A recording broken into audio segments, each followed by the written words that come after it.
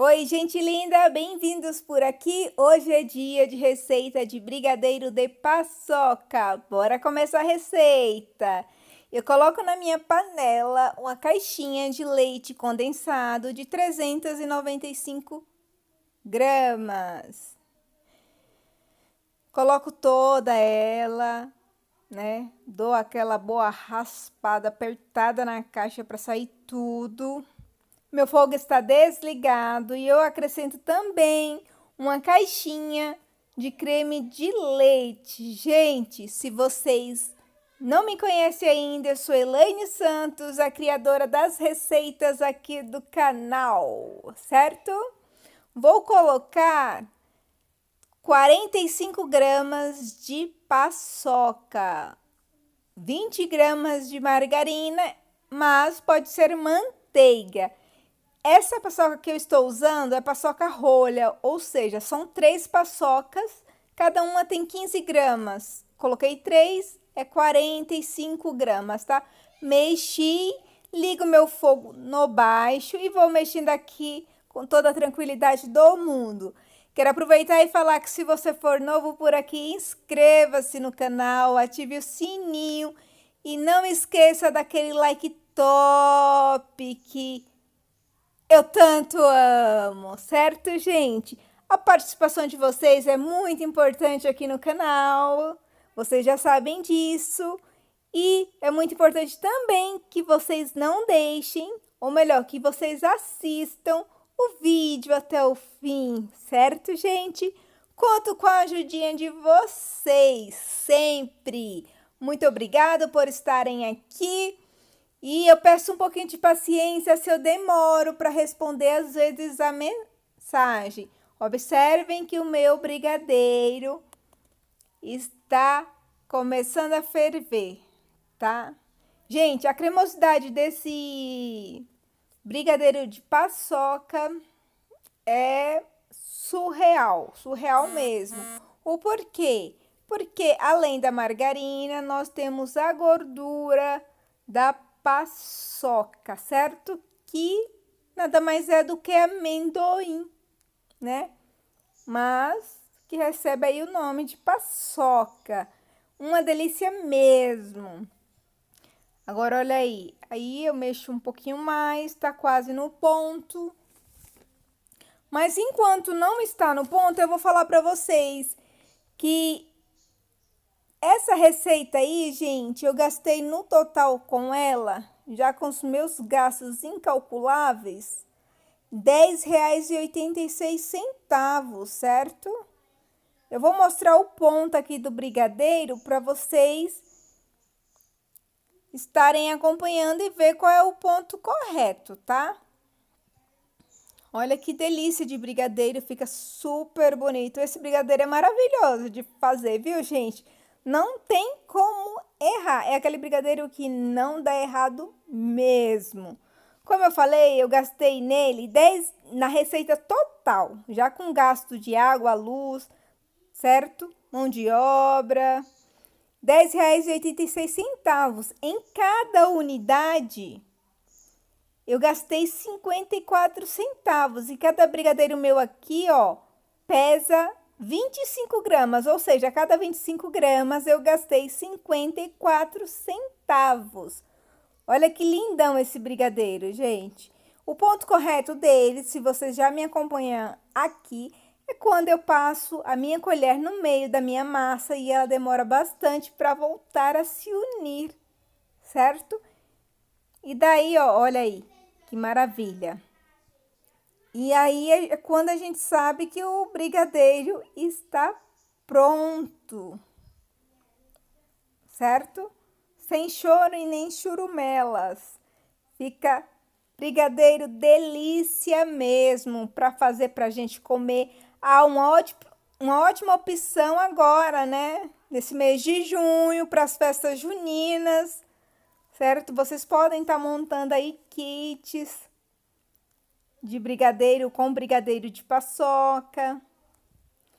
Inclusive com eles maiores também, de 25 gramas, certo? Não tem festa, mas as famílias que moram junto, sempre gostam de comemorar, né, gente? Tem muita família que mora pai, irmãos, é, primos, sobrinhos, tudo junto. Então, não tem o que fazer, eles ficam junto mesmo, certo? Então, aqui, gente, é o que eu falei para vocês. É, eu desliguei o meu fogo e aí eu tô mexendo bem ele aqui, ó, para ele ficar bem aveludado mesmo, certo? Olha aí, que maravilha de brigadeiro, está perfeito. Agora eu vou levar esse brigadeiro para esfriar. Vou deixar ele aqui embaladinho nesse plástico filme. Acho que vocês já viram em outros vídeos, né? É uma forma de economizar espaço, fazer o brigadeiro render mais, porque quando a gente embrulha ele, coloca ele, embala ele no plástico filme, a gente não perde absolutamente nada. Aproveita todo o brigadeiro, certo? Ó. Deixa eu dar uma arrumada aqui. Gente, eu vou falar para vocês que essa receita rendeu exatamente. Oi! Quantos brigadeiros? Meu Deus, 20 brigadeiros, certo?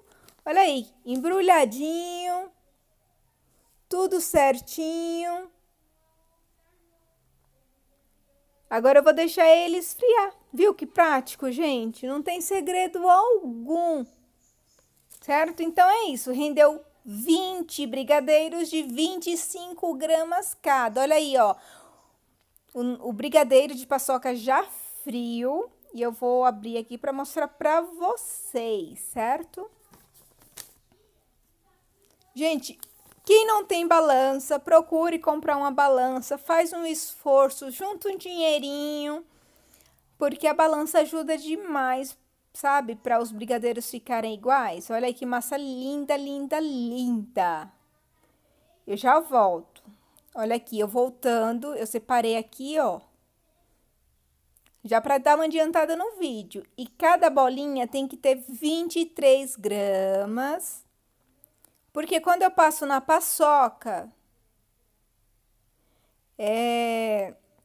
Quando eu passo na paçoca, eu fico com 25 gramas tá? Eu tô usando manteiga para untar a mão. Se você tá acostumado com manteiga, continua. Se você gosta de trabalhar com água, fique à vontade. Eu gosto de trabalhar com a manteiga mesmo, certo? Olha aí que bonito que fica. Gente, esse brigadeiro é muito bom mesmo. Estamos numa época boa para trabalhar com ele.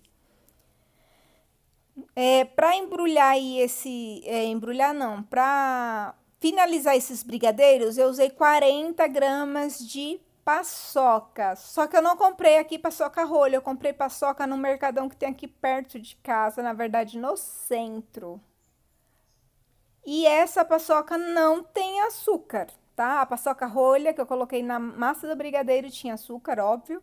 Essa daqui não tem. Eu gosto. O meu marido fala que prefere quando eu faço com a paçoca em rolha porque fica muito mais doce. Desse jeito, gente, corta muito o açúcar, tá? Dá a sensação que tem uns 40% a menos de açúcar. Então, se você quiser fazer com a paçoca rolha, fique à vontade, tá?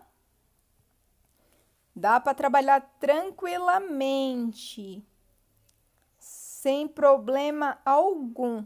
Gente, essa forminha que eu estou usando, ela é a forminha número 5, tá bom? É, olha aí, se vocês olharem, quando eu peso eles, ficam com 25 gramas, tá? Então, são 23 gramas de massa, quando passo na paçoca, fica com 25 gramas. É uma forma da gente padronizar e trazer é, uma beleza a mais ao nosso brigadeiro, tá? Tenho aqui eles prontos, deixa eu mostrar para vocês. Mas no total, como eu, falei, essa receita rende exatamente 20 brigadeiros de 25 gramas cada, tá bom, gente? Espero que vocês tenham gostado. Se gostaram, já sabe, inscreva-se no canal, ative o sininho e deixe aquele like top para a nossa alegria. Fica com Deus, tchau, tchau, um abração e até o próximo vídeo.